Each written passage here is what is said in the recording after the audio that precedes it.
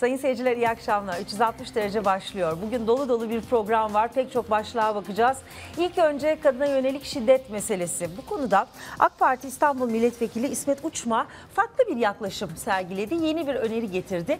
Mahallelik esas alınsın ve mahallelik mahalleli dayanışması yeniden e, gündeme gelsin. En iyi çözümlerden biri bu olabilir. Türkiye'de böylelikle bir farklılık yaratır dedi. Onun başlattığı bu tartışma çok farklı yorumlara neden oldu. Kendisi bugün konuğumuz. Daha ayrıntılı bir şekilde onunla konuşacağız. Ee, İsmet Bey ile konuşacağız. Aslında ne demek istedi bize kendisi anlatacak. Hoş geldiniz. Hoş bulduk. Şimdi mahallelinin namusu olarak sizin aslında bu öneriniz yansıdı. Öncelikle isterseniz bunu konuşarak başlayalım. Bu mesele Türkiye'de aslında e, son derece yoruma açık ve hassas bir mesele. Çünkü na, mahallelinin namusu dediğiniz zaman işin içine her şey girmiş oluyor. Öncelikle tam olarak ne öneriyorsunuz Döneme sizden dinleyelim. akla geliyor tabii. Evet. Efendim önce size ve CNN'e çok teşekkür ediyorum. Ederim. Böyle bir imkanı ve fırsatı tanıdıkları için ve yapmak istediğimiz şeyi milletimizle rahat ve doğruları neyse onu yani söylediklerimizi paylaşmak için Ee, ve vesilenizle de gerçekten bütün kadın ve erkek insan kardeşlerimi selamlayarak başlamak istiyorum. Ee, takdir edersiniz ki Türkiye Büyük Millet Meclisi'nde kadın erkek fırsat eşitliği komisyonumuzun yanında bir de 20 önergeyle Ağustos ayında başlamıştı bu 20 önergeyle birlikte kadına yönelik şiddeti araştırma komisyonu oluşturduk. Ben de bu komisyonun üyelerinden birisiyim. Şimdi bütün çalışmalar, bütün veriler, Doğu ve Batı'da yapılan bütün çalışmalar e, kadına yönelik şiddeti minimize edemiyor. Bizim hedefimiz sıfırlamak ama bir türlü minimize edemiyor. Şu halde e, öngördüğüm şey şu idi. Yani mahallenin namusu bir değiştir. Yani bir böyle bir kavramdır. Çok da söylenen bir şeydir ama nasılsa bunu o, arkadaşlarımız sağ olsunlar cinselliğe indirgediler. Bununla uzaktan yakından alakası yoktur. Çünkü namus kavramının e, yani filolojik tanımlarında da cinsellik hiç geçmemektedir zaten. Yani aslan yatağından tutun kamuslara bakıldığında e, işte onur, izzet, iffet, mağdura sahip çıkmak, yoksulu kollamak, yetimin başını okşamak. Mesela bazen ne deriz işte ülkemizin çok önemli bir insanı için diyelim Sayın Cumhurbaşkanımız, Sayın Başbakanımız ya da Türkiye Büyük Millet Meclisi ya da falan kuruluş işte CNN Türk bu bizim yayın namusumuzdur ya da bunlar bizim ülkemizin namusudur diye yaklaşımda bulunuruz.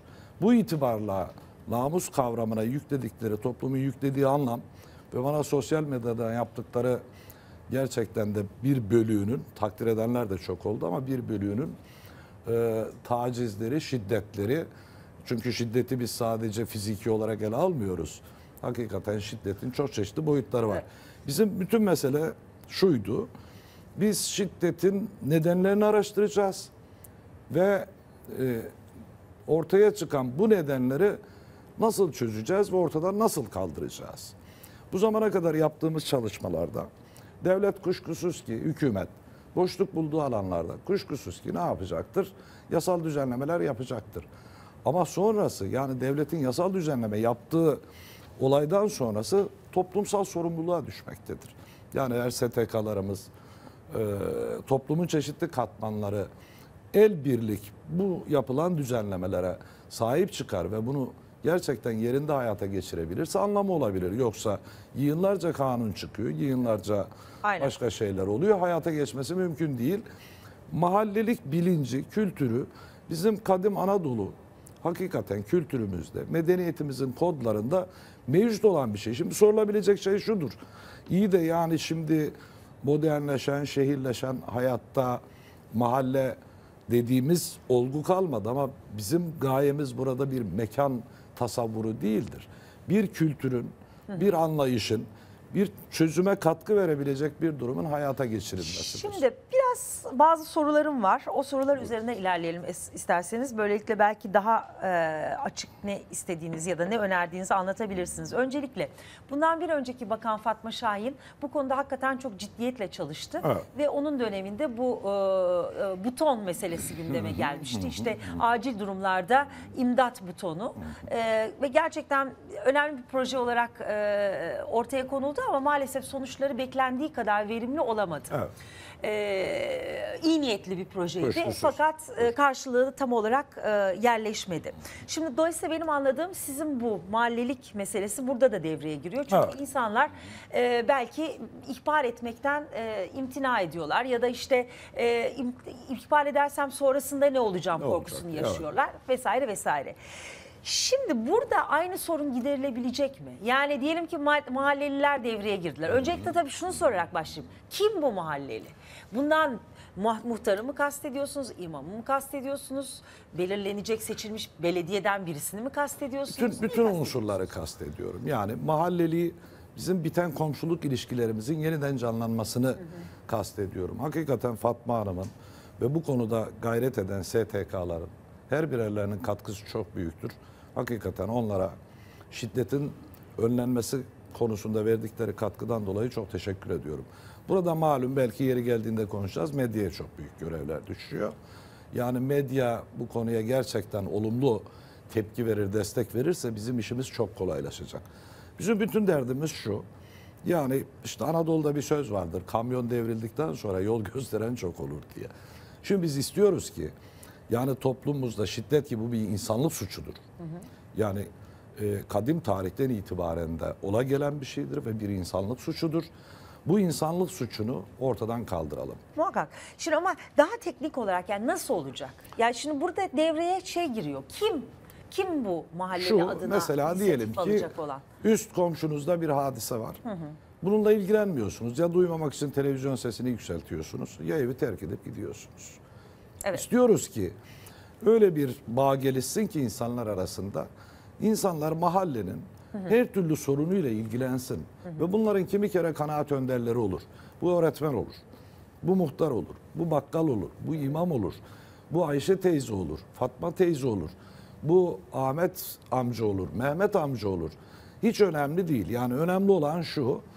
Sözü dinlenen, tecrübe sahibi, kendisine itibar edilen her mahallenin yaşlıları, büyükleri, tecrübelileri böyle şeyler vuku bulduğunda eğer bu komşuluk ilişkileri bağlamında bir tas çorbayla o kapıyı çalar ve girer de işte evladım bak bu sıkıntılar geçer şöyle şöyle davranmak gerekir, şöyle yaklaşmak gerekir diye nasihatta bulunursa ve mahallelerimizde büyük sosyal tesislerimiz olursa emekli öğretmenlerimizin bulunabileceği, bu tecrübeleri yaşamış insanların bulunabileceği büyük bir katılımla gençlerin okuldan sonra oraya uğradığını, işte o tecrübeli ya da emekli öğretmen amcalarının başlarını okşadığını düşünün.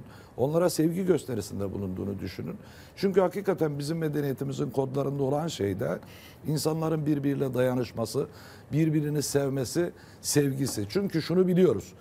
İslam'ın ilk şartı nedir diye sorarsanız belki bugün ilmihallerde yanlış demeyeyim ama şöyle düzeltmek gerekebilir. İslam'ın ilk şartı şudur. Yani buyuruyor peygamberimiz. Diyor ki birbirinizi sevmedikçe mümin olamazsınız. Mümin olmadıkça da cennete gidemezsiniz. Yani birbirinizi seveceksiniz. Peki birbirinizi sevmenin yolu ne? Birbirinizin hine hacette dertlerinize, tasalarınıza, bunalımlarınıza sahip çıkmak. Şunu söylememe izin verin lütfen. Örneğin e, birçok size canlı vakada anlatabilirim.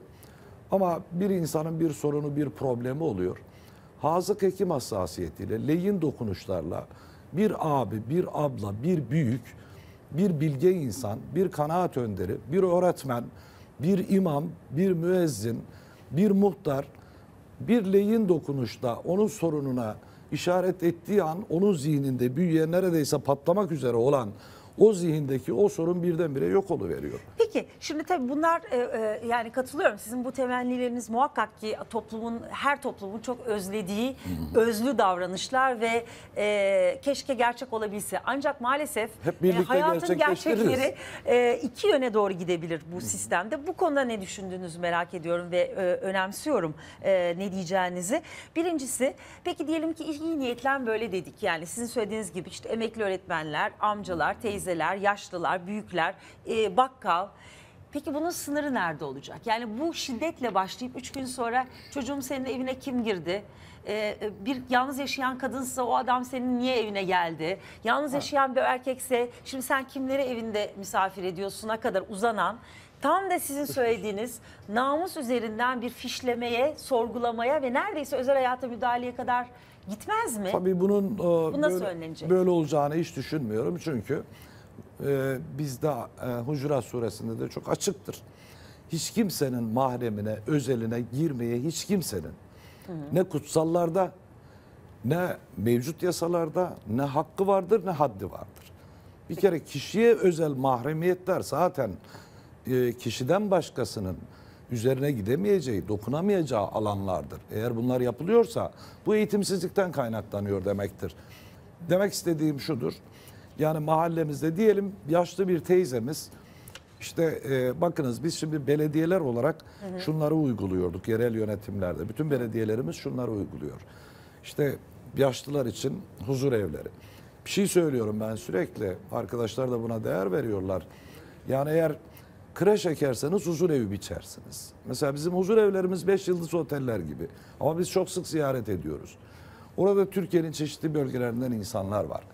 İnanın mahallesini özlüyor ya da apartmanını özlüyor. Mahalleli bir mekan olarak algılamayalım, bir kültür olarak algılayalım. Bunları özlüyor. Yani beni oralarda bir götürüp gezdirseniz diyor. Şunu demek istiyorum bununla. Hayır bu Biz şey- yerinde çözüm Hayır, bunda size şey. katılıyorum ama İsmet Bey, e, şimdi ben bu kadın şiddeti konusunda da çalışmış bir gazeteciyim. E, Bu konuda da hatta bir e, belgesel yaptım. Buradaki sorun zaten namus cinayetlerinde ve kadına yönelik şiddetteki en önemli meselelerden bir tanesi mahalledeki bir takım dedikoducuların dedikodu üretmesi nedeniyle o kadının bir anda e, yaftalanması ve bir anda mahallenin namusu adına o kadınların ya da ailenin namusu adına katledilmesi. Dolayısıyla zaten sorun o mahalledeki birilerinin hiçbir şey bilmeden o kadınlar hakkında işte o yan gözle baktı, gidiyor çalıştı, başını açtı, başını kapadı, öyle davrandı, evine geç geldi.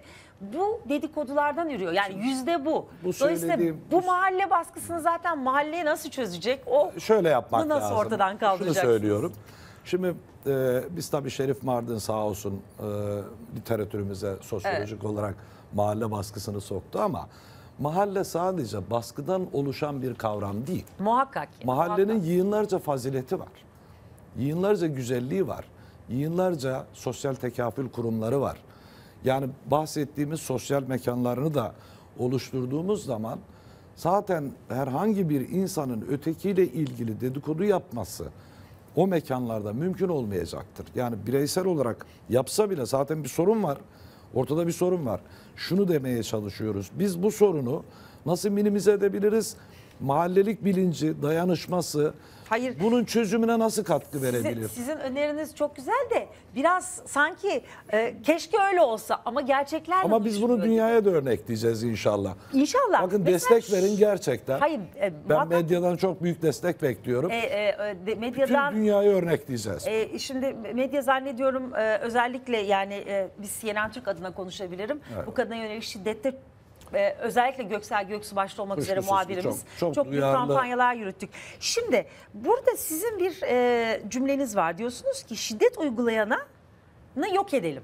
Hayır o şu şu O anlamda bir kere infaz edelim olarak. ifna etmek. İfna, evet. ifna etmek şudur. Mevcut olan olguyu ortadan kaldırmaktır. Nedir bu? Şiddet olgusudur.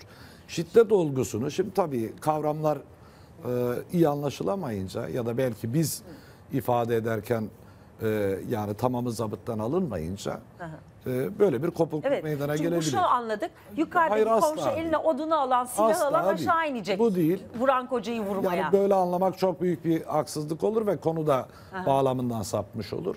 Bununla kastım şudur. Şimdi nasıl bize öğütlenen şey şudur. Bir yanlışlık, e, bir başkasına zarar veren bir durumu gördüğünüzde bunu güzel güzel anlatarak sözle ortadan kaldırın. İfna bu anlamda kullanılıyor. Efendim yoldan geçiyorsunuz, mahallenizde çöp var, onu elinizde kaldırıp çöp sepetine koyuyorsunuz. İfna bu anlamda kullanılıyor. Yoksa zaten biz bakınız bizim kutsal Bu metinlerimizin şiddeti tamamı. ortadan kaldırın Tabii canım. Şiddeti şiddetle bastırın asla anlamında. böyle bir şey olabilir mi? Ama bakınız bizim kutsal metinlerimizin tamamı şunda ittifak etmişlerdir. Bir canı öldüren, bir cana kıyan hangi yolla olursa olsun bütün insanlığı öldürmüş gibidir. Şimdi Ama Ha. bir cana bu bunalımlarında deva olan, dert olan, çare olan bütün insanlığı yeniden diriltmiş gibidir. Bundan büyük mutluluk olabilir. İsmet Bey, siz e, dini referanslar veriyorsunuz ve burada verdiğiniz referanslar da genelde İslam'ın özü ve e, temiz duyguları içeren ve aslında işte söylediğiniz gibi dayanışmayı içeren, şiddeti reddeden bir söylem. Bu bağlamda sizin bir e, açıklamanız da benim hayli ilgimi çekti. Diyorsunuz ki aslında bizim müftülerimizin, imamlarımızın zihniyetini değiştirmemiz lazım. Zaten Evet. bu kadına yönelik şiddette de en önemli unsurlardan bir tanesi buydu. Ve şöyle de bir, e, e, ben, sizin de söylediğiniz gibi bu uzun bir program ama burada da sormadan geçemeyeceğim. İmamların zihinleri sülfürik asit dolu demişsiniz. Yani o Ve tabii İslam kom- Rönesansı'na ihtiyacımız Şimdi olduğunu şöyleydi söylüyorsunuz. o- Bunu nasıl bağdaştır? Yani Do- nedir orada Doğru. Şimdi, şimdi bakınız. e, Ben toplumsal olayların ve kadına yönelik şiddetin ne e, kalıp yargılarda kadın değerlendirmesiyle ne de modernitenin kadını emtia haline getirdiği batı anlayışlarıyla çözülemeyeceğine inananlardanım. Bir başka ifadeyle bunu ne la kaydi liberal anlayışla çözebilirsiniz ama la kaydiye dikkat etmek gerekir. Ne yoksa liberalliğe vurduğum anlamına gelmesin o. Ne la kaydi liberallikle çözebilirsiniz. Ne de hakikaten indirgemeci fanatizmle çözebilirsiniz. Şimdi bizim e, kaynaklarımızda ve başka kaynaklarda bakıyorsunuz. Hinduizm'den, Şintuizm'den ve sonra muharref hale getirilmiş diğer vahiylerden tetiklemeler var. Yığınlarca kadına ilişkin, insana ilişkin yığınlarca peygambere iftira niteliğinde, Allah'a iftira niteliğinde rivayetler var. Bunların ayıklanması gerekiyor. Şimdi bunların olması doğal. Toplum e, düşünürü yani alimi, yönetici ve varlıklı olanı çok sorumlu tutuyor. Yani bütün kutsal metinlerde bunu göreceksiniz. Önce bunlar kime düşüyor bu? İşte düşünüre, aydına, alime düşüyor. Yani şu doğaldır. Bir dinin etrafında oluşan otantikte hurafelerin, İsrailiyatın haddinden fazla olması çok muhtemeldir ve bu doğaldır. Çünkü yaşayarak insanlar geldikçe her şeyi çoğaltarak geliyorlar. Bu doğrudur. Ama bakınız alime düşen, aydına düşen, düşünüre düşen, medyaya düşen orada ilahi muradıyı netleştirmek ve tekleştirmektir. Bunu başardığımız gün biz 120 bin din görevlimizde, işte şu kadar öğretmenimizde, şu kadar e, başka kademelerde görev yapan insanlarımız da toplumu sarıp sarmalarız. Bakınız Halil Cibran'ın bir sözünü size aktarmak istiyorum. Malum Lübnanlı ünlü Evet. düşünür, toprağı bol olsun. Aynen. Çok, e, büyük değerli. filozofisi Evet. olan çok değerli bir insandı. Halil Cibran diyor ki nasıl bir ağacın sessiz bilgisi olmadan dalının ucundaki yaprak sararmaz ise topunuzun katkısı olmadan bir toplumda kötülük işleremez diyor. Peki. Şimdi Şirin Hanım bunu masaya yatırmak lazım. Bu çok önemli bir Bence ilke. de yani sizden e, e, böylesine bir e, e, açılım ya da böylesine bir ne diyeyim e, yeni farklı bir duruş e, e, duymak beni aslında heyecanlandırdı diyebilirim. biz hep böyleyizdir. Çünkü günlerdir e, tam da bu konuyu konuşuyoruz zaten. Eyvallah. Sizin de söylediğiniz gibi İslam etrafında yanlış Evet. anlaşmalar, Kuşkusuz yanlış ki, yorumlar, ki. e, e, çok içi boşaltılmış. Ve bakınız e, paralel de buradan çıkıyor. Evet. Bakınız bugün hakikaten Türkiye Cumhuriyeti devletine kastetmiş. Darbe girişiminde bulunmuş. Yabancılarla iş tutmuş. Ve bugün ülkemizi efendim bir yönetim beğenirsiniz beğenmezsiniz. Bunu değiştirmenin yolu demokrasilerde sandıktır. Beğenir ya da beğenmezsiniz. Bunlar başka şey. Ama Sayın Cumhurbaşkanımız başta olmak üzere hükümeti ortadan kaldırmak, darbe yapmak, teşebbüsüne girişin temelinde motive eden unsurları bu dine sonradan sokulan hurafelerle oluşturulan bir kutsal algıdır. Yani biz bunları insanlar bunlara niye inanıyor diye bir derde düşmeyiz. İnan isteyen taşa da tapsın. Ama şimdi- Ama Ha. biz bunun gerçeğini ortaya koymak Şimdi da sizin bu İslami Rönesans'a ihtiyaç var ve imamların e, Kur'an kursu hocalarının gerçekten sadeleşmesi ve zihinlerini temizlemesi e, e, lazım. En çok da bu toplumsal olaylarda demeniz beni heyecanlandırmış. Evet. Ne olur bunu döndürüp dolaştırıp darbeye bağlamayalım. Yo, hayır, Burada şunun için söylüyorum bunu. Çok önemli. Ama Ona ama ama bakınız. imamlar, Şimdi Şirin Hanım bu söylediğim de mi? çok önemli. Yani hepsini kapsıyorsunuz Şimdi bakınız herhalde. dikkat ederseniz bir e, İslami daire içinde olan gruptan meydana geliyor. Hayır, yani demek istiyorum. O, hayır hayır. o dairede birçok Ama şu var işte unsur bu yok evlerde, bu Kur'an kurslarında, onlara ait eğitim kurumlarında eğer gaybi haberler alınmasa ki gaybı Allah'tan başka kimse bilmez. Peygamber de bilmez. Bildirilir peygambere. O da hemen size ve bize açıklamak durumunda. Peki bu konuda daha uzun bir Ama bu program konuda yapalım. evet, daha uzun bir çünkü program işte e, 6 yaşındaki çocukların evlenmek caizdir diyen de çıktı. E, Ceylan derisinden kefen pazarlayan Evet, da çıktı. nereden çıktı bunlar? E, e, İşte bu uydurma rivayetlerden çıktı. üzerinden dönen tartışmalar da çıktı. Şu 6 yaşa bir şey söylememe lütfen izin verin. Tamam, son. Şimdi bakınız. E, mesela kadına yönelik şiddetin en belli başlı hali. Yani bir e, İslam adına konuşan birisi en büyük şiddeti gerçekleştirmiş Ama- oluyor. ama iki- 6 yaşındaki bir kıza. İki hususun altını çizeceğim. Lütfen izin verin. Şimdi 6 yaşındaki bir çocuk şimdi bütün hukuklarda ve kutsal hukukta da yani diyelim kutsallardan mülhem hukuklarda da teyit edilen, belirtilen, bize hakikaten zihnimize nakşedilen bir husus vardır. O da nedir?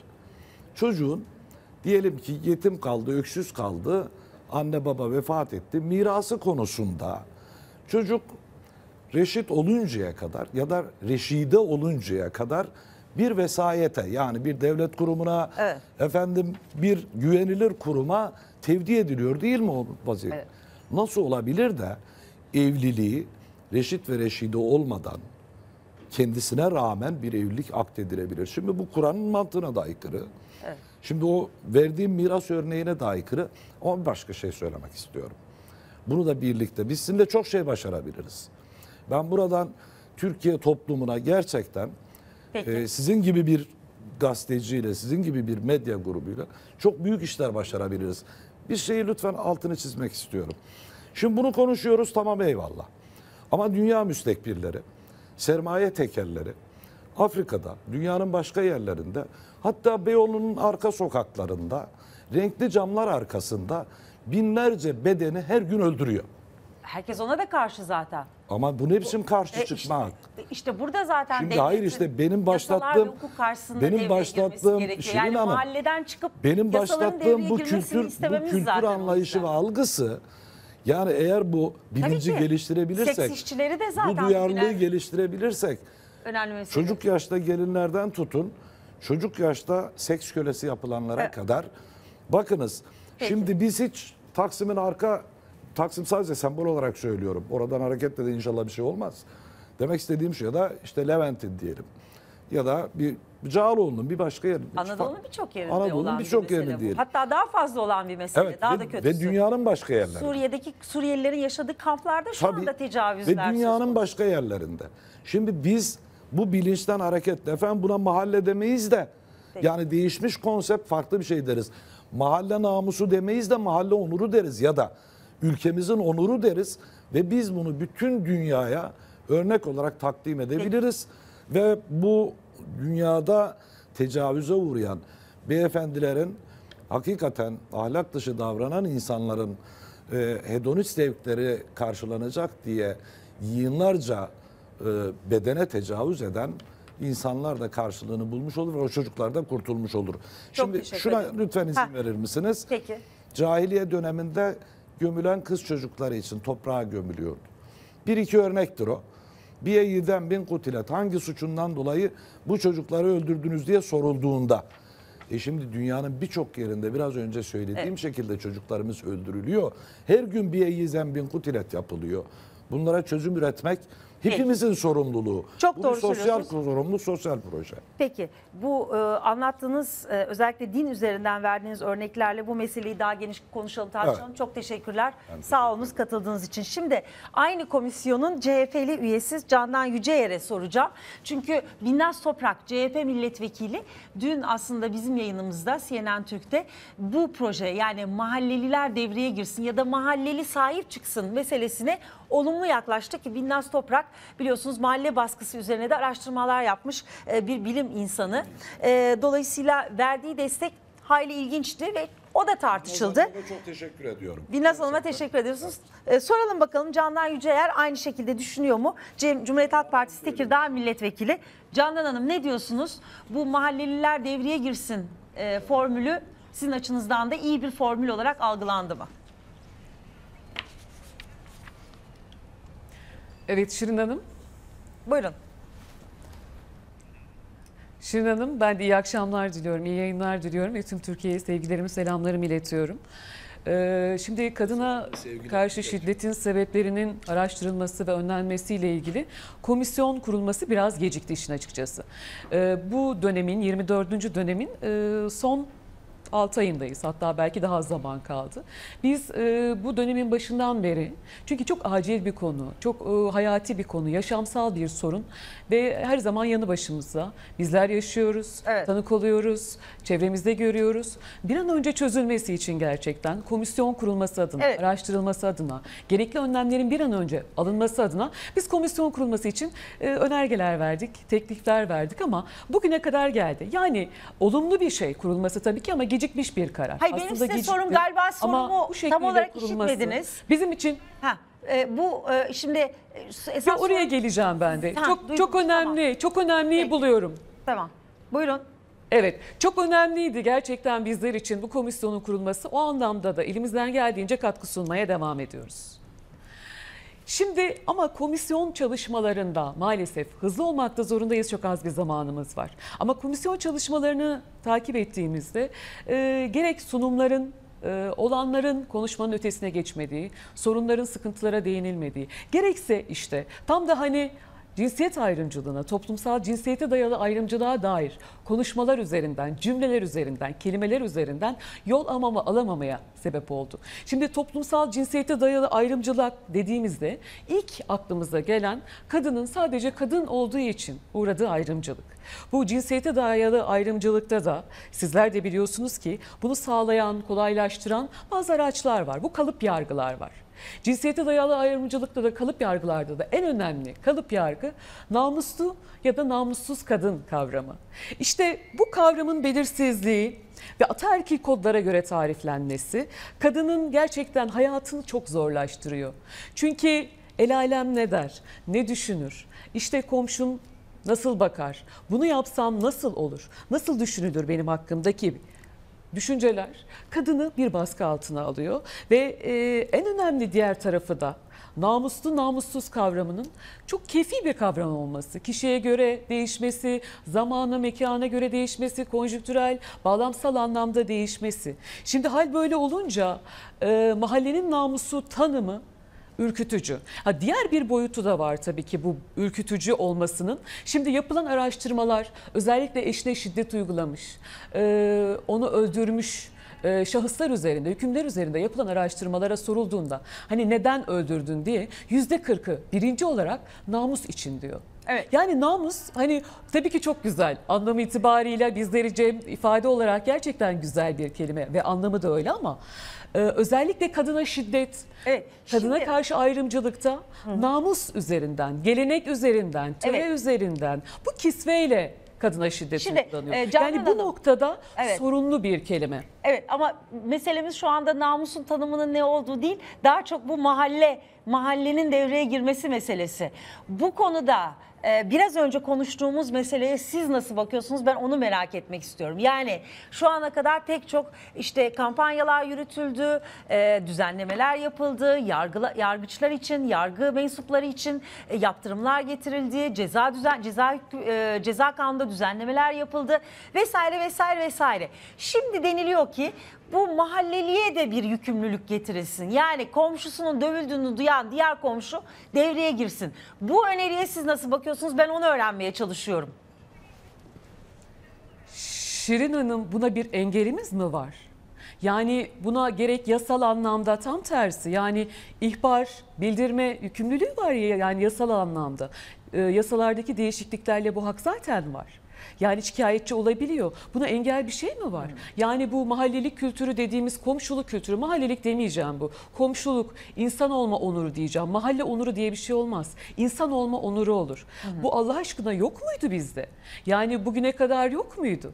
Bu zaten hani bu girsin deyince olacak bir şey değil ki. Bu kültürel, geleneksel bir şey. Ve bu bizim bizzatide yaşadığımız şeyler. Ama mahallenin namusu derseniz siz ona farklı bir yere götürürsünüz. Onu anlatmaya çalışıyorum. Yani namus kavramının özellikle bu alanda tehlikeli olduğu ve bunun üzerinden tam tersi olayların, şiddetin, cinayetlerin meşrulaştırdığını anlatmaya çalışıyorum. Bu anlamda bakınca da hani bunun üzerinde bu kadar konuşmak yani sorunumuz tam da olarak buyken aslında. Yani biraz önce sizler de söylediniz. Uluslararası sözleşmeye ilk imza atanlardan biriyiz. Avrupa Konseyi İstanbul Sözleşmesi'nin. CEDAW gene önümüzde. Bakın 2012'de o kadar hızlı bir şekilde yetiştirmeye çalıştık ki 8 Mart Evet. 6284 konulu kanunumuzu. Evet. Yani şiddetin ve ailenin korunması ile ilgili. Şimdi- Peki o günden bugüne bakıldığında bakıyoruz. Yani Evet. bir değişiklik var mı diye maalesef yok, Yok. ama yani Dolayısıyla şiddeti zihniyet- engelleyememişiz. Evet. Ve şunu da şunu da e, zihniyet değişikliğinin gerektiğini siz de Buyurun. söylüyorsunuz. Peki ben şunu merak ediyorum. Biraz önce e, İsmet Uçma e, e, Bey de e, daha farklı bir şekilde yorumladı. Dedi ki o eski mahallelik kültürünü getirirsek bunun faydası olur. Çünkü bizde kol kırılır yen içinde kalır diye bir atasözü var. Kimse kimseye dokunmuyor, müziği açıyor. Aman bana ne ben karışmayayım diyor dedi.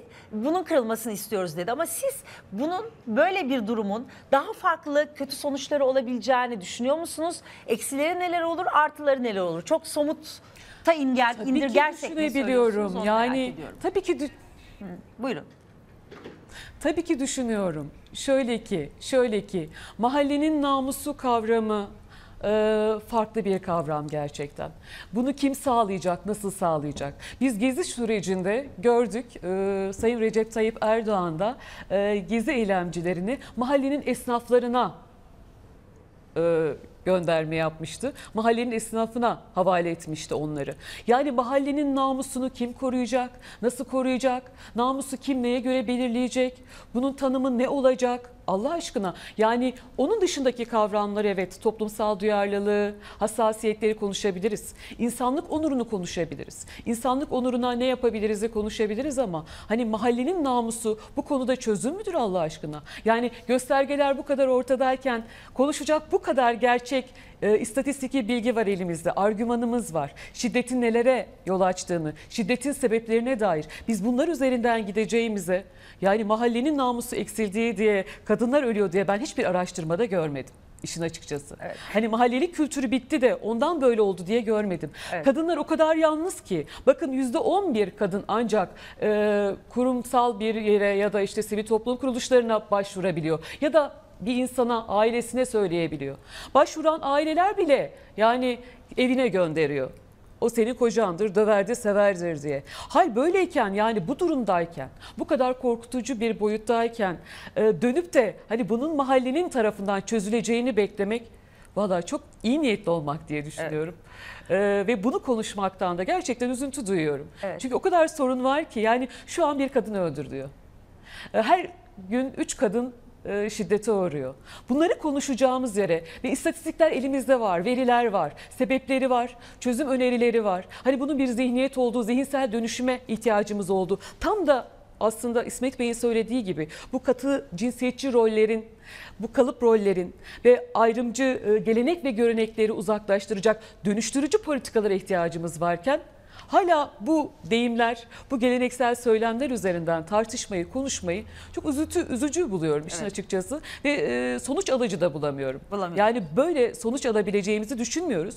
Çünkü namus kavramı Evet. e, biz ağırlaştırıcı sebep olarak çıksın istiyoruz. Yani e, cinayetleri hafifletici bir sebep olmasın, haksız tahrik sayılmasın diye mücadele verirken şimdi bir de mahalleli namusunu, bu kavramı e, kadına şiddetle ortaya atmak gerçekten üzücü. E, Anladım. Gayri de samimi buluyorum işin açıkçası. Anladığım kadarıyla bu tartışma daha çok su kaldıracak ve sizin de belirttiğiniz gibi çok hassas boyutları var. Dolayısıyla sadece din üzerinden giderek çözmek tabii ki yöntemlerden bir tanesi. Ee, İsmet Bey'in ben o anlamda söylediğine katılıyorum. Yani imamların ve din adamlarının, din adına konuşanların zihniyetinin değişmesi önemli. Ama sizin söylediğiniz çok önemli. Sonuçta yasalarda mevcut. Bu yasaların uygulanabilir hale gelmesi bile çok önemli adım olacaktır. Özellikle hukuk ve adalet verenlerin zihniyetinin değişmesi çok önemli olacaktır. Candan Hanım çok teşekkür ederim. E, Komisyonunuzda başarılar diliyorum. Umarım daha somut ve demokratik hukuk Ben devleti içinde ediyorum. çözümlere ulaşabilirsiniz diye düşünüyorum. Sağ olunuz katıldığınız için. 360 derece devam ediyor.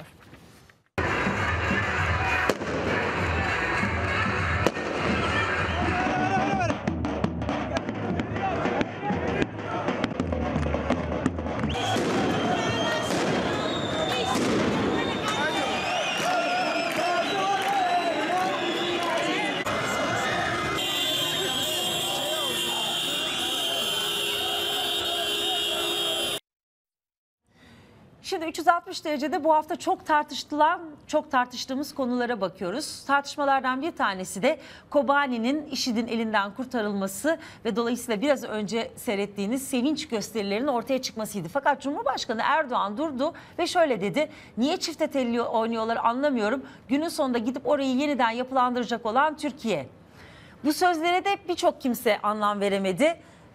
IŞİD'in elinden kurtulması Kobani tarafından ve Kobanililer tarafından heyecanla karşılanması, sevinçle karşılanması, e, bunun için e, sevinç gösteri yapılması çok önemli denildi. Sonra Cumhurbaşkanı Erdoğan dedi ki tamam çifte telli oynamadılar ama halay çektiler. Şimdi bu meseleyi ve diğer meseleleri HDP Hakkari Milletvekili Adil Zozani ile konuşmak istiyorum. Adil Bey iyi akşamlar, hoş geldiniz.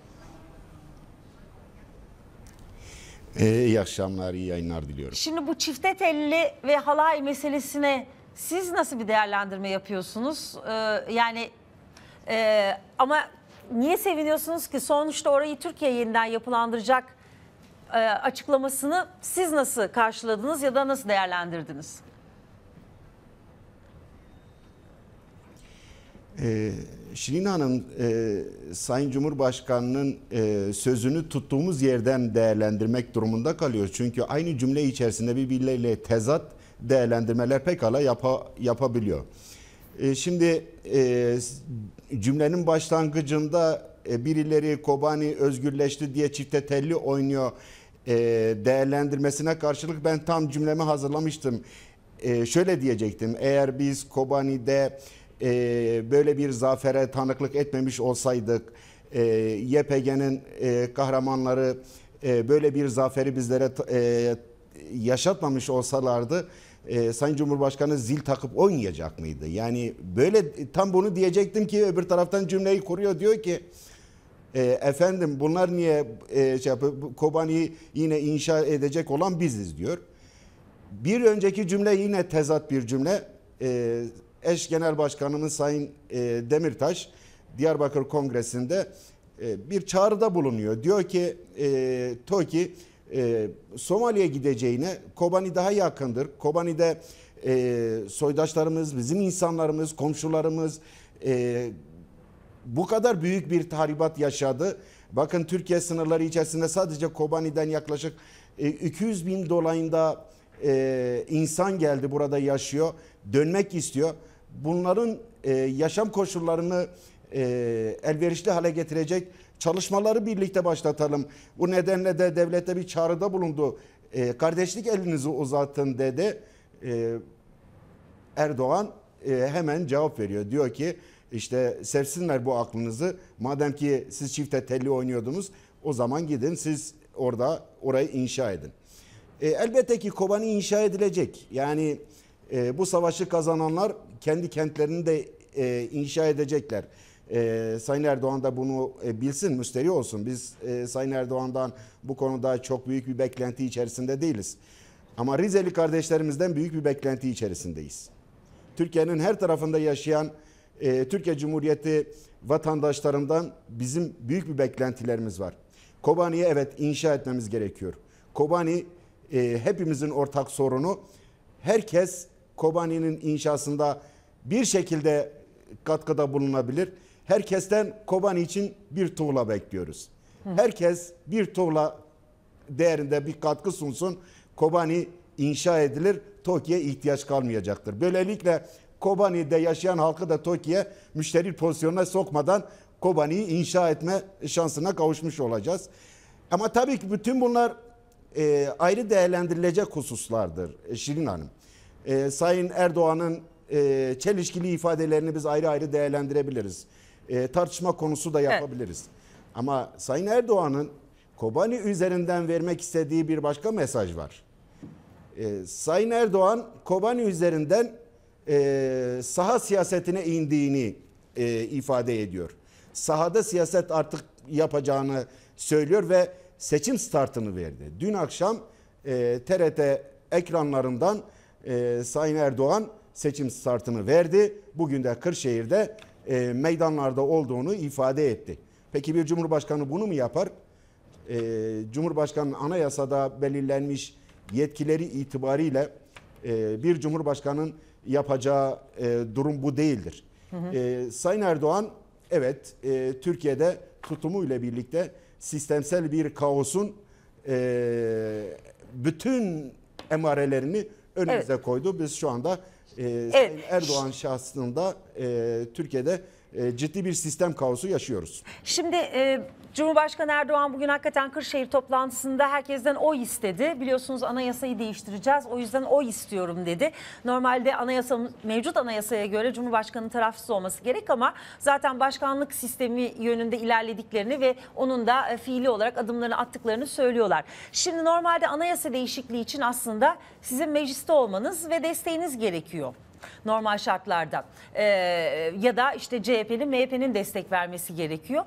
Ee, şimdi burada bir kafa karışıklığı var. Öncelikle e, HDP ne yapacak sorusunu e, çok fazla insan soruyor. Her ne kadar dün e, ne oluyor programında Meral e, e, Meral Hanım da bunu çok e, üstüne basa basarak söyledi ama e, e, Meral Beştaş yine de bir şekilde bugün tartışmalar dinmedi. İşte HDP'nin stratejisi yanlış, bireysel mi girecek, bağımsız mı girecek? AK Parti cephesinden çok fazla bu yönde yorum var. İşte e, barajın altında muhakkak kalacak, niye böyle yapıyorlar diye.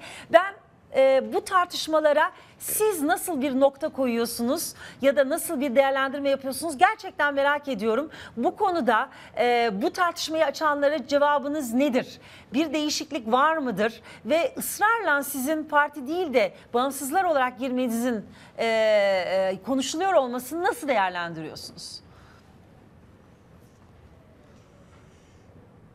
Bu sorunuza cevabı e, iki boyutuyla vermek mümkündür e, Şirin Hanım. E, bir, Türkiye'de herkes e, Halkların Demokratik Partisi milletvekillerinin temsil ettiği siyaset anlayışının e, Türkiye siyaseti içerisinde olmazsa olmaz bir renk olduğunu görüyor ve mutlaka ama mutlaka e, parlamenter sistem içerisinde temsiliyetlerinin şu ya da bu oranda olması gerektiğini ifade ediyor. HDP'nin barajı aşacak aşmayacak tartışmasının sokakta bu kadar karşılık buluyor olmasının sebebi budur. İnsanlar HDP görüşünün parlamentoda olmasını bir güvence olarak görüyorlar. Ben bunu değerli buluyorum. Dolayısıyla bu soru niye bize soruluyor diyemeyeceğim. Bu sorunun bu sorunun soruluyor olması e, bizim açımızdan anlamlıdır. E, biz buna anlam biçiyoruz. Ancak bu soruyu bize soran değerli vatandaşlarımıza çağrımız şudur. Biz HDP olarak, HDP'li milletvekilleri olarak hayatımızı sırf milletvekili olalım diye e, inşa etmiş değiliz. Bütün gayemiz milletvekili olalım üzerine değildir. Biz Türkiye'de bir idealın peşinde koşan insanlarız. Siyasetçileriz. Ya her birimiz kendi yaşamında ateşte sınandı, birçok zorlukları, badireleri atlattı ve buraya geldik. Bu aşamadan itibaren Türkiye'de bize şu soru sorulursa daha anlamlı olur diye düşünüyoruz. Bütün medya organlarından, siz değerli gazeteci arkadaşlarımızdan beklentimiz şudur. HDP parti olarak seçime giriyor. HDP'nin Türkiye programı nedir? Bu sorunun bize sorulması anlamlı olur. Bu aşamadan sonra. Evet. Çünkü biz sadece parlamentoya gelelim. Şu ya da bu oran, sayıda milletvekili sayısıyla gelelim. Bir grup kuralım. Ve orada bir temsiliyetimiz olsun gayreti içerisinde olan insanlar değiliz. Bugüne kadar yapılan çalışmalar elbette ki çok anlamlıdır. Ancak bundan sonra biz parlamentoda saksı görevini görmek istemiyoruz. Öyle ifade edeyim. Açık al- aleni bir şekilde ifade edeyim. Bunlar parlamentoda olsunlar, çoğunlukları olmasın ama bir renk olarak bulunsunlar. Muamelesi çekilmeye çalışıyor HDP'ye. HDP kimse kusura bakmasın. Bu Evet. saksının içerisine girmez. HDP Türkiye vizyonunu ortaya koyan bir yeni bir siyasi görüştür. Alternatif bir siyasi görüştür. Cumhuriyetin kuruluşundan bugüne kadar milliyetçi muhafazakar eksen ile ulusalcı eksen arasında sıkışmış bir toplumsal tercih var. Türkiye'de sağa baktı, baktığınız zaman AKP zihniyeti, sola baktığınız zaman CHP zihniyeti ve Türkiye kamuoyu bu iki zihniyetten birine mecburmuş gibi bir algı yaratıldı. HDP işte bu çemberi kıran bir siyasi görüştür. Evet. Biz hayır. Türkiye toplumu, Türkiye halkları bu iki seçeneğe mecbur değildir. Üçüncü yol vardır diye yola çıktık. HDP bunu söylüyor. Ö- örnek olarak MHP'yi değil de CHP'yi vermeniz beni şaşırttı Adil Bey. edinmiyoruz. Ee, e, örnek olarak CHP değil de MHP, MHP'yi değil de CHP'yi vermeniz şaşırttı. Çünkü e, buradan bilmiyorum en büyük e, e, e, belki de oy aldığınız için Cumhurbaşkanlığı seçimlerinde rakip olarak CHP'yi mi görüyorsunuz bu seçimlerde de? Hayır efendim MHP ile CHP arasında sadece bir harf e, bir harf farkı var. O nedenle ayrıca CHP'ye e, e, değinme gereği duyma, e, MHP'ye gere, e, değinme gereği duymadım. E, politikaları itibariyle elbette ki Cumhuriyet Halk Partisi içerisinde görüşlerine değer verdiğimiz, değer atfettiğimiz çok sayıda e, siyasetçi arkadaşımız, dostumuz vardır. Ancak genel politik yaklaşımları itibariyle Türkiye'ye öngördükleri siyasi vizyon itibariyle CHP ile MHP arasında sadece bir harf fark vardır. Evet. Bu nedenle biz e, birbirinden ayrı olarak değerlendirmiyoruz. E, AKP'yi de bir format değerlendirdiği zaman kısmen içinde MHP'yi görebiliyor görebiliyorsunuz. Dolayısıyla CHP de iktidarda olsa, AKP de iktidarda olsa kısmen MHP zaten iktidar ortağıdır. Evet. İkili bir bu durum bu üç partinin mevcudiyeti bu ikili seçeneği ortadan kaldırmış. Kaldırmış. Peki HDP bu ikili seçeneği bozan bir siyasi görüş olarak geldi ve e, iddiasını ortaya koyuyor. Evet. Şimdi bu söyledikleriniz son derece net. Dolayısıyla şu an itibariyle ve dün de zaten söylenmişti ama anlıyoruz ki bu konuda sizin herhangi bir tartışmanız, parti içinde tartışması yok. Dolayısıyla Ankara kulislerinde konuşulan e, sizin de belirttiğiniz gibi daha farklı siyasi hesapların uzantısı böyle diyorsunuz ve HDP parti olarak girecek. Şimdi biraz önce dediniz ki bize parti programımızı sorun. Bu arada enteresan bir açıklama da geldi. Aslında dikkat çekici diyelim. E, DTK eş başkanı Hatip Dicle'den geldi bugün ve dedi ki e, 21 Şubat'tan itibaren bundan böyle e, manav etiketlerinden belediye makbuzlarına, afişlerden pankartlara kadar her şey iki dilli olacak. Ana diline sahip çık ya da ana dilini kullan kampanyası çerçevesinde bundan sonra Türkçe, Kürtçe iki dilde çalışmalara başlıyoruz dedi. Siz de Kürtçe e, eserler veren, e, yazılar yazarlar yazan ve e, edebiyat yapan bir e, milletvekilisiniz aynı zamanda. Dolayısıyla ne diyorsunuz? E, bu sizin açınızdan da bu seçim sürecinin önemli bir adımını mı teşkil ediyor? Nasıl olacak? Hayır efendim biz dil kullanımını bir seçim sürecinin e, propaganda malzemesi olarak kullanmıyoruz. E, asla böyle bir anlam çıkarılmamalıdır. E, öteden beri e, Kürt halkının halkının e, meşru demokratik bir talebiydi ve bu talep e, adım adım e, pratik anlamda e, karşılık e, karşılık buluyor. E, ayrıca e, Sayın Hatip Dicle'nin e, ifade ettiği talepler e, ve 21 Şubat Dünya e, Dil Günü'nde e, e, böyle bir çıkışın e, başlangıcının yapılacağını ifade etmiş olması e, yeni bir şey de değil işin aslında. E, Birçok belediyemizin tabelası zaten e, Kürtçe Evet. ve Türkçe. Birçok şehrimizin e, girişinde e, Hayrat'ın yazısı yazılıyor. Yani bu e, ilk defa yapılmış bir şey değil. Bu yaygınlık kazanacak olan bir e, durumdur. E, adım adım evet e, halk e, yerel yönetimleriyle birlikte e, bu ihtiyacını karşılamaya dönük e, ortak adımları atacak.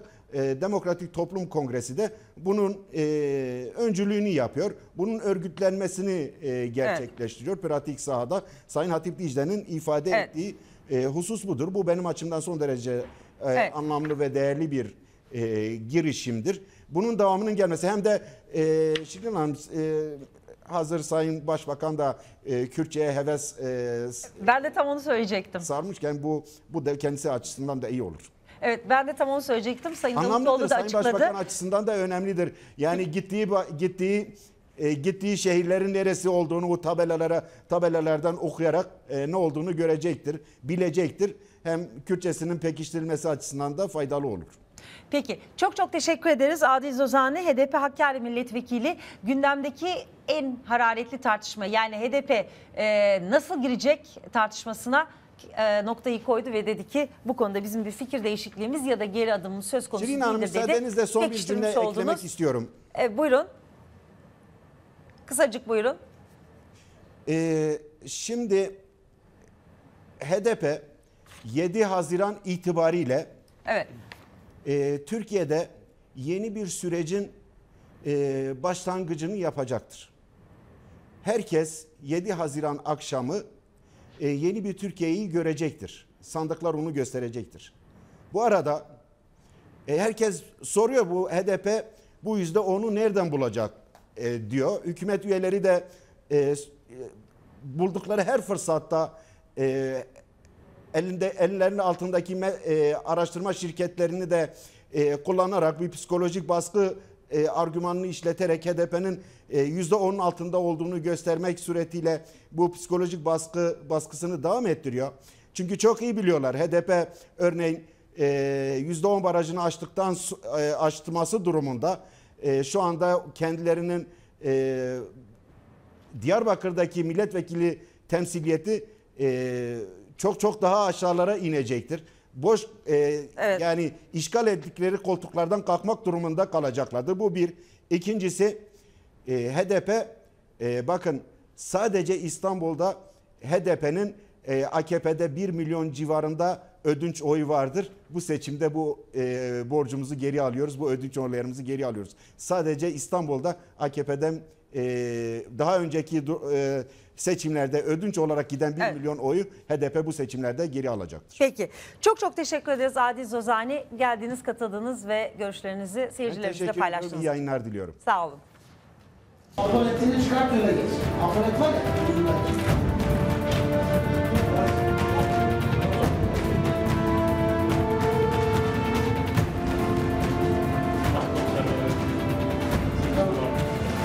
Şimdi e, arkadaşlarım hepsi buradan e, şöyle tek sırayla bak Ferman. Şu yapılan hadise bir normal hukuki bir prosedür. Yani, e, arkadaşların tek tek yüzlerine bak, olaya bulamaya çalış. Tamam mı? Bir numara. Yani şimdi 15 tane çevik kuvvet vardı etrafında. Belki de burada saçını uzattı. Öyle düşün yani. Seni yanıltmak için bir şey yapmış olabiliriz. Şimdi bu görüntüler, daha doğrusu bu dava bir dönem çok tartışılmıştı. Ee, bir AK Partili milletvekilinin oğlu e, polisleri bir kavga sonucunda bir takım polisleri, emniyet mensuplarını e, sizi sürdürürüm diye tehdit etmişti dava konusuna göre. 2012 senesinde oluyor bu. Daha sonrasında e, polislerle arasında e, çıkan tartışma davalık olmuştu. E, ve araya giren bir emniyet e, görevlisi de e, kendi ekibini yani polisleri kor- e, korumuş ve siz polislere, emniyet mensuplarına böyle tehdit savuramazsınız e, demişti. Ve sonuçta bütün bu taraflar davalık oldular, mahkemeye gittiler ve bu mahkeme, bu dava sonuçlandı. Sonuçta e, sizi sürdürürüm diyen milletvekilinin oğlu para cezasına çarptırıldı. Sürdürül, sürdürülmekle tehdit edilen polis memuru da hapis cezası aldı gibi bir durum var. İsmail e, Saymaz e, konuğumuz e, onunla konuşacağız ve Ankara'da da Polis Akademisi öğretim üyesi Erkan Koca bizi bekliyor. Birazdan ona soracağız. Öncelikle İsmail Saymaz. Ne diyorsunuz bu davanın sonucuna? Ben de bugün polislere sordum. Ee, hatta bir emniyet müdürüne sordum. Ne diyorsunuz bu davanın sonucuna diye. Birincisi emniyet müdüründen en düşük rütbeli polisine kadar e, bunun e, kamu görevlilerinin tamamı o manzaradan büyük utanç duyduklarını söylediler. Ee, Hangi manzaradan? Yani, biraz yani önce göster. sıraya önce iki aşamalı tabii. Önce o görüntünün kendisi. Yani Millet- Milletvekilinin ö- Tabii, oğlunun yani önünde millet- sıraya dizilmiş polis Milletvekilinin memuru. oğlu, danışmanı e, ve kantini işleten AKP'li İl Genel Meclisi'nin oğlu. Zaten kavga onlar arasında çıkıyor ilkin. Yani İl Genel Meclisi'nin oğlu emniyetin kantinini işletiyor. Aralarında sürtüşme çıkıyor. O bunun üzerine milletvekilinin oğlunu o da danışmanını çağırıyor böyle. Siyasal müdahalenin açık resmi. E, yani benim görüştüğüm komiserler ve polisler yani polisi ezen, aşağılayan, e, ve iktidar adına e, onu kişiliksizleştiren bir davranış olduğunu ve utanç duyduklarını, bundan çok rahatsız olduklarını e, söylediler. Bu manzaranın da kendini zor duruma düşürdüklerini söylediler. O bakımdan polis teşkilatı yani hiyerarşik olarak bundan çok rahatsız olmuş. Bunu ifade ediyorlar. Karara da eleştirileri var çünkü aynı suçu işlemişler aslında birbirlerine karşı. Yani tehdit suçu, tehdit ve e, yaralama teşebbüs gibi bir suç var orada. E, ya dolayısıyla aynı suçta birinde Yani milletvekilinin e, söz konusu milletvekilinin o bir milletvekili oğlunun e, yaralamaya teşebbüsü var. İkisinin Ama de birbirine tehdidi var bir Tehdidi kere var. ve e, bir darp meselesi var. Çünkü biri diyor ki iddiaya göre kan, kantini işleten AKP'li genel meclisin e, genel meclisin oğlu diyor ki işte polise çıkar o kıyafetini ben sana gösteririm. O da ona karşılık veriyor. Aslında bir ağız dalaşı ama anladığımız kadarıyla birine para cezası diğerine e, yani Hapis cezası verilmesinin sebebi birinin kamu görevlisi olması. Yani ikisi arasındaki temel fark bu. Oysa ki aynı suç işlenmiş orada ve üstelik e, kantini işleten kişi, burada buranın davanın tarafı ve dolayısıyla AKP'li milletvekilinin oğlunun arkadaşı olan kişi aslında kendisine ait olmayan bir başka yetkiyi kullanıyor. Yani bir milletvekilinin oğlunu getirtip onunla karakola gidip emniyet müdürünün de yardımıyla polisleri sıraya dizerek bütün usullere aykırı bir mekanizma işletiyor. Normalde teşhis böyle yapılmaz. Yani teşhis işlemi, işlemi bizim bildiğimiz bir cam mekanın arkasında şü- şüphelilerin hepsi de polis olmaz. Bazen sivil konur ve kişinin onu teşhis etmesi istenir. Ama burada emniyet, 4 yıl emniyet müdürüydü o. Atay'ın ilçesi. 4 yıl emniyet müdürü geliyor polisleri dizdiriyor. itiraz edeni tehdit ediyor. Ee, söyleyin efendim diyor hangisi yaptı size? Yani bu polis teşkilatı için gerçekten rahatsız edici, onları aşağılayıcı bir durumdur. şimdi e, diyelim Çıkan ki- karar da onlar açısından adil bir karar Ee, değil. Şöyle alsak meseleyi diyelim ki gerçekten burada bir sivil vatandaş olsa yani kantinci Osman olsa mesela atıyorum hiç bir siyasi bağlantısı olmayan ve böyle bir tartışma yaşanmış olsa ve bir kamu görevlisi onu tehdit etse o zaman belki hani kamu görevlilerin görev kanunu evet, e, anlaşılabilir. çerçevesinde anlaşılabilir diye denilebilir ki burada devlet haklı olarak ben seni barışı sağlaman için oraya koyuyorum ya da e, huzuru sağlaman için oraya koyuyorum. Sen başkalarını tehdit edemezsin diyebilir bir polis memuruna. Ancak burada kafaları karıştıran herhalde Siyasi, nüfus siyasi kullanılması. nüfusun kullanılması Şimdi burada benzeri vakalar var. Örneğin e, Fatih'te e, Vatan Caddesi'nde bir alışveriş merkezinde bir mağaza işleten kişi AKP Fatih Gençlik Kolları Başkanı'ydı. E, kendi siyasi kimliğini söylemediği için orada polisler tarafından dövülmüştü mesela. O siyasi kimliğini hiç kullanmamıştı. Nüfus kullanmamıştı. Örneğin yanlış hatırlamıyorsam bunlar 3-4 yıl önce Başbakanın dünürü Sadık Bey gazeteci kendisi. O da trafikte polise takılmıştı. Başbakanın dünürü olmadı, dünürü olduğunu söylemediği için kötü muameleye maruz kalmıştı. Dolayısıyla buradaki fark nüfus farkı ve o e, arkadaşı olan milletvekilinin oğlunu nüfuzuna yaranarak emniyette sıra dışı bir uygulama. Çok olağanüstü bir uygulama e, sağlıyor. Yani hiç kimseye nasip olmaz. Bir polis, bir grup polisi dizeceksiniz. Aralarında komiser de olacak. Ee, üç kişi kameralara çekilecek ve onları aşağılayarak e, teşhiste bulunacak. Tabii yurttaş gözünde de şöyle bir durum var. Bunlar iktidar partisinin milletvekilinin oğlu ve arkadaşı diye bu yapılıyor. Normalde bir başka siyasi kimliğe mensup olsa ya da olmasa Yani- uğrayacağı muamele böyle olmayacak. Kantinci Osman olsaydı bu meselede Hayır. söz konusu olan bir para cezasından kurtulmazdı herhalde. 5 hapis cezası tersi taraftan Evet, işlerdi. Evet, evet, evet. Ha şöyle olurdu zaten polise dava açılmazdı. Doğrudan e, ilgili kişi mahkum olurdu. Hep böyle olmuştur. Yani polis burada e, yani sıradan bir vatandaşı tartaklamış olsaydı polislik hiçbir sorun olmayacaktı. Ama burada taraf Adalet ve Kalkınma Partisi'ne mensup biri olduğu için polisten daha az ceza aldı. Polis mahkum edildi. Ee, Erkan Bey, e, siz ne diyorsunuz bu görüntüler ve çıkan davanın çıkan sonucu e, için artık dava bitmiş ama bu polislerin dizilmesi meselesi yani bugünlerde o kadar çok farklı tarafıyla boyutuyla emniyet teşkilatını ve polisin toplum içindeki yerini konuşuyoruz ki ilk bunu sorayım size ne diyeceksiniz? Ee, Şimdi şöyle, iyi akşamlar, iyi yayınlar öncelikle. Ee, Ben İsmail Saymaz kadar e, kötümser değilim e, polisin tavrıyla ilgili e, noktada. Yani e, bu kişiler e, sıradan insanlar olsaydı e, mutlaka kaçınılmaz olarak e, adaletsiz ya da olumsuz bir tavırla karşılaşırlardı gibi bir e, peşin hükümden hareket etmemek gerektiğini e, ve polise güven duyarak her şeye rağmen hareket etmek gerektiğini düşünen biriyim. Şimdi burada e, iki şey var. E, Bir tanesi bu görüntülerdeki e, oluşan durum. Bir diğeri de e, eklenmesi gereken bu görüntülerin neden, e, ne şekilde ve niye kamuoyuna bu kadar yansıtıldığı e, ya da tırnak içerisinde sızdırıldığı meselesi var. Şimdi ben daha ziyade aslında e, olayın bu tarafının da konuşulması gerektiğini düşünüyorum ama sorunuza kısaca cevap vererek oraya belki geçebilirim. O da şu, e, teşhis diye bir uygulama var. E, teşhis illa camın arkasından mı olur yoksa bu şekilde mi olurun e, kararı öncelikle savcının haberi olduktan sonra e, durumun içeriğine göre e, oradaki emniyet müdürü ya da savcının talimatını yerine getiren kişi tarafından yere zamana duruma göre e, alınan bir kararla e, yapılan bir uygulama. E, buradaki olay e, çok büyük bir güvenlilik e, güven e, sorunu yaratmadığı için belki böyle bir uygulamaya gitmiş ama her halükarda oradaki polis yöneticisinin e, burada bir e, hatasının olduğu e, bunun bu şekilde yapılmamasını sağlaması gerektiği açık. E, burada bir tartışma yok.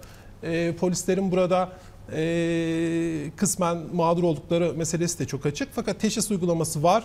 E, her zaman böyle mi olur? Bu kadar e, sert mi geçer bu ilişki? Bu tartışılabilir şüphesiz.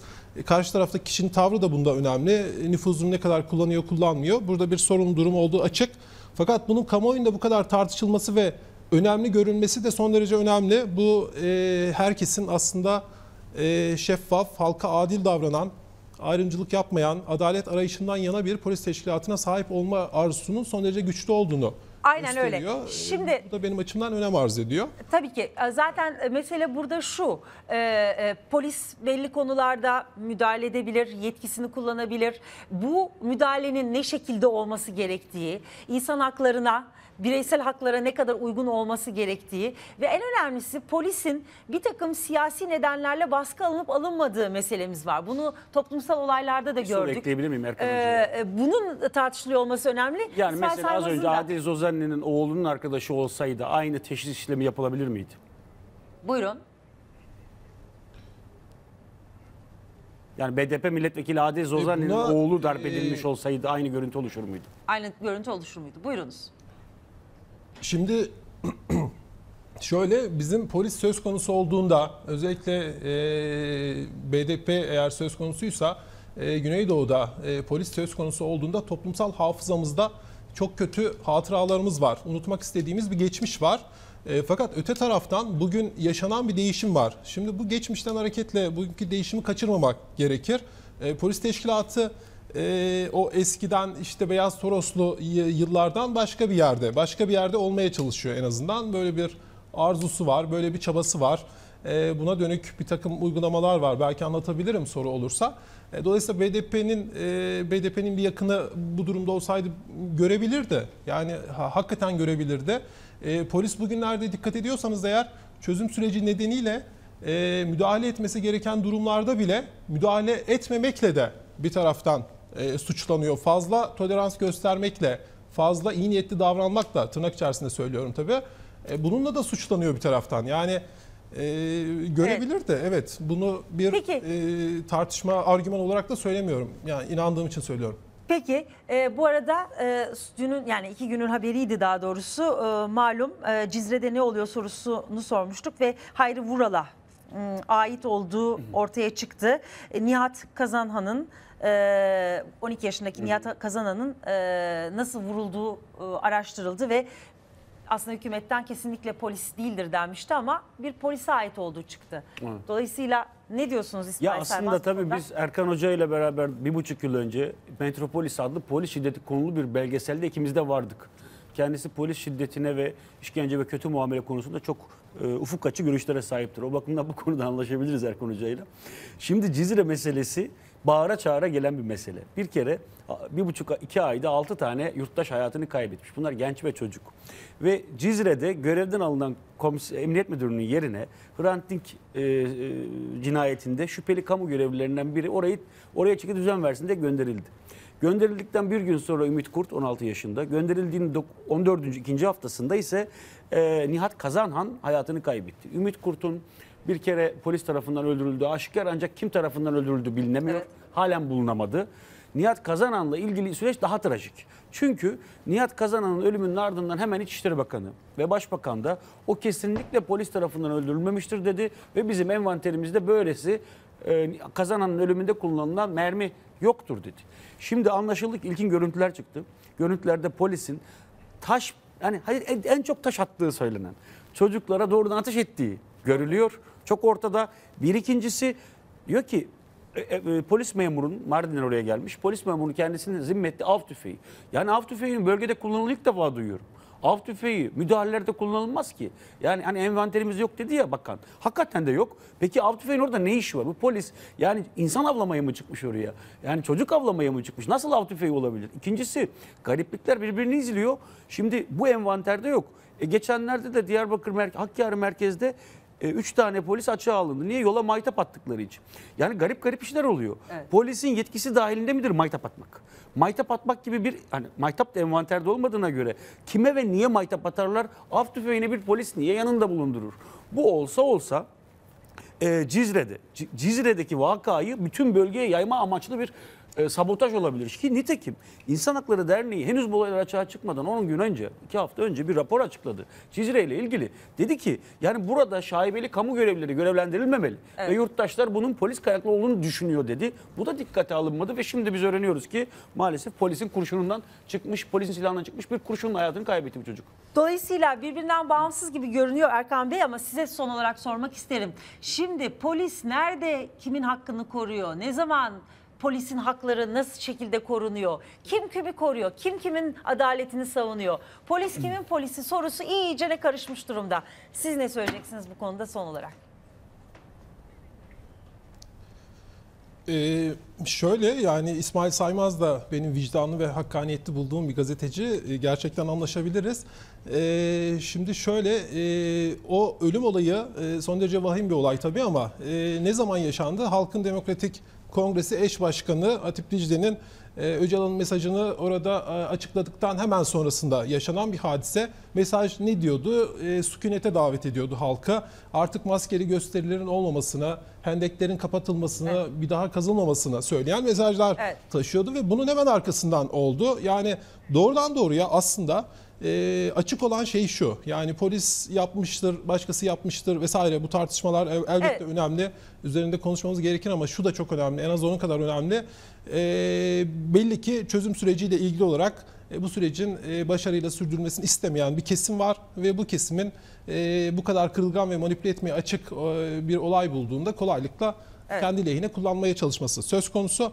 Ee, bir başka konuda çok önemli altı çizilmesi gerekir polis açısından eğer tartışma yapacaksak. Ee, Güneydoğu'da meydana gelen toplumsal hadiselerle e, Türkiye'nin öteki yerlerinde meydana gelenler arasında ciddi farklılıklar var. Bölgede çalışan polislerin hemen size söylediği şey burada devlet ve karşı taraf gibi bir ilişki söz konusu değil. İki taraf arasında kolaylıkla çatışmaya dönüşebilecek son derece sıcak bir durum söz konusu oluyor çoğu zaman ve polis her durumda iki tarafın arasında kalmak gibi bir Evet. e, sorunlu durumla baş başa kalıyor. Fakat öte taraftan bizim toplumsal eylem polisliğimiz 1980 sonrasında oluşturulan çevik kuvvet yapılanmasıyla son derece militer bir karakterde yapılan bir polislik. Türkiye'nin her yerinde olaylar farklı karakteristiklere Evet. sahipken, farklı politik içeriklere sahipken e, her yerde tek tip bir polislik. O da militer, e, total bakan, herkesi aynı şey içerisinde değerlendirmeye yatkın, sorumlu yanlar taşıyan bir polislik. E, dolayısıyladır ki e, bu tür olaylarda çok hassas ve dikkatli olması gerekir diye düşünüyorum. Erkan Bey çok çok teşekkür ederiz. İsmail Saymaz'a teşekkür ediyorum. Dediğiniz gibi bu konuyu daha geniş bir şekilde konuşuruz, tartışırız. Polisin durumunu konuşmak gerekiyor. Çünkü bir de iş güvenlik yasamız var ki zaten polise inanılmaz yetkiler tanıyan. Belki tam da zamanıdır ne oluyor da uzun bir tartışma için e, sizi tekrar görmek isteyeceğiz stüdyolarımızda. İsmail Saymaz çok teşekkürler. Bizi anlamlandırdınız. E, bu çıkan davayı ve sonucunu polisler adına ve polisin durumunu konuştuk. Devam ediyoruz 360 dereceye.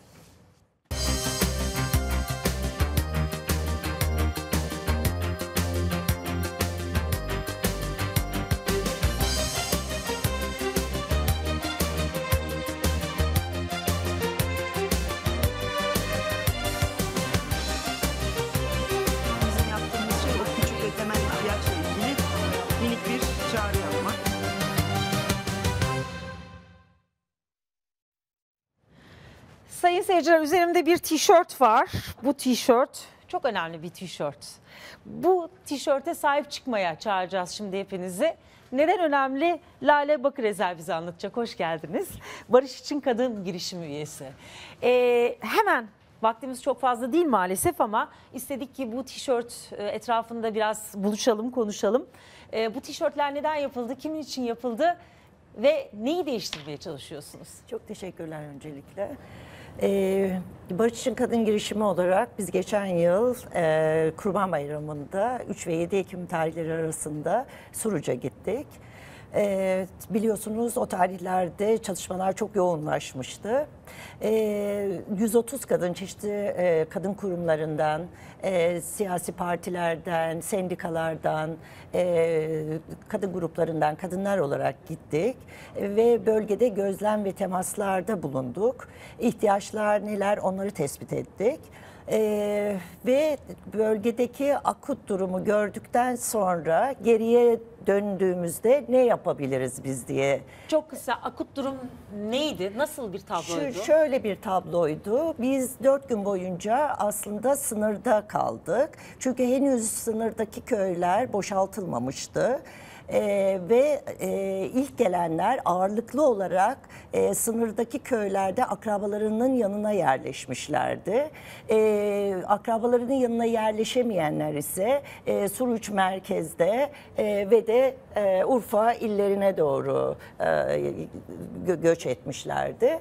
Ee, biz e, Suruç merkezdeki hem o arada da tabii ki yani savaşın kaçıncı günüydü 15 günü e, gibi bir süreydi ve e, bir taraftan da e, Türkiye'nin her tarafından e, de destek maddi anlamda malzeme desteği geliyordu. Bu gittiğimiz süre içerisinde biz hem sınırdaki e, köylerde kalan kadınlarla e, temaslarda bulunup görüşmeler yapıp duygularını, düşüncelerini, geleceğe dair ne düşünüyorlar bunları öğrenme fırsatımız oldu. Hem aynı zamanda da depolarda e, gelen malzemelerin tasnifini e, bu dört günlük süre içerisinde yaptık ve çadır kentleri dolaştık.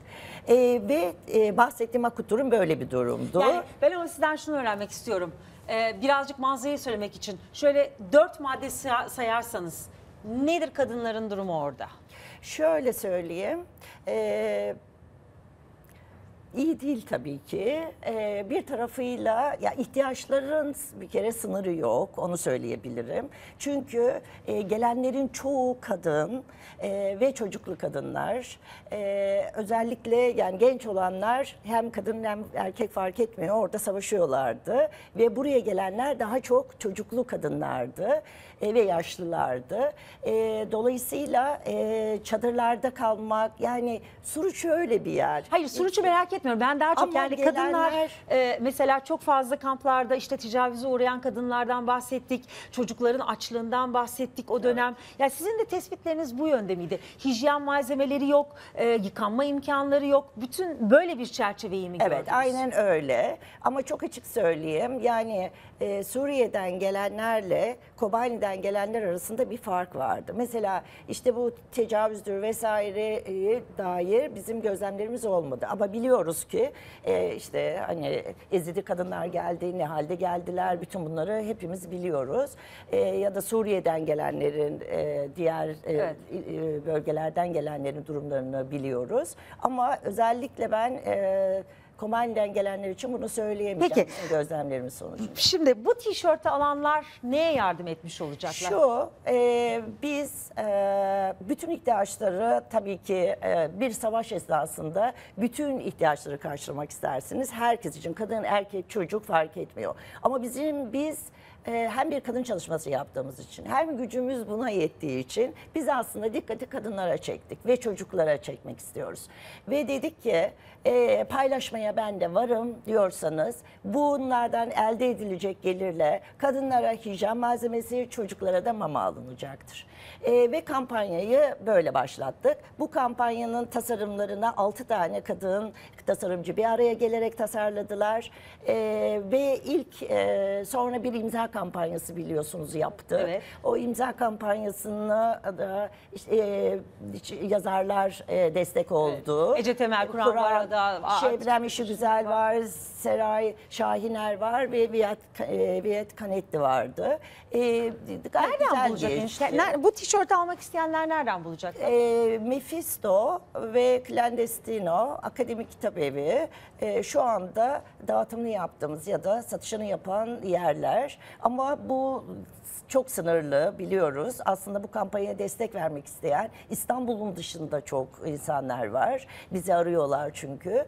E, biz aslında İstanbul'un dışındaki illerden biz bunu mağazamızda, e, kitap evinde, şurada satabiliriz e, diyenlere buradan da çağrı yapıyorum. Lütfen bizi arasınlar. Şimdi kadınların durumu gerçekten e, Suriye'den gelenler açısından hakikaten çok çok zor. O da ayrı bir mesele. Kadın örgütleri olarak oraya muhakkak muhakkak büyük yardım gitmesi gerekiyor. Çünkü biraz önce söylediğiniz gibi esas tecavüz olayları en çok Suriyelilerin e, kamplarında da olduğu söyleniyor ama daha önemlisi sokaklarımızdalar. Evet, Kız aynen çocukları öyle. çalıştırılıyor. Kadınlara tecavüz ediliyor. Suruç'tan gelenlerin sizin söylediğiniz gibi yardım malzemesine, giysiye, e, hijyenik malzemeye, ilaca, çocukların da mamaya ihtiyacı var. Buna destek vermek isteyenleri bu tişörtleri ve Fisto'dan ve nereden dediniz? Clandestino, Kla- Clandestino mağazalarından. e, mağazalarından temin edebiliyorlar ama en önemlisi e, Lale Hanım da söylediği gibi bu tişörtlere e, yer açmak isteyenleri de destek. Evet. Size ulaşabilecekleri Evet. bir internet sitesi var mı? Evet var. E, www.barışiçinkadıngelişimi.com'dan bize ulaşabilirler. Com'dan. Evet. Barış için e, e, pardon e, ne diyoruz? E, paylaşmaya ben, de varım. E, tişörtlerini almak için barış için kadın girişimi.com internet sitesinden de desteğinizi sağlayabiliyorsunuz. E, gerçekten e, kadınlara şiddet demiştik. Öyle başlamıştık 360 dereceye. Kadınlara destek diyerek bitirelim. Çok önemli. Komşumuzdan gelen kadınlar, Kobani'den gelen kadınlar, Suruç'ta bulunan kadınlar, kamplardaki kadınları lütfen unutmayın. Ee, ve siz de bir e, el vermiş olun. Çok teşekkür ederiz Ben geldiğiniz teşekkür katıldığınız ediyorum. için. Ee, bu tişörtle veda edeceğim size ama ne zaman reklamlardan sonra bizden ayrılmayın lütfen.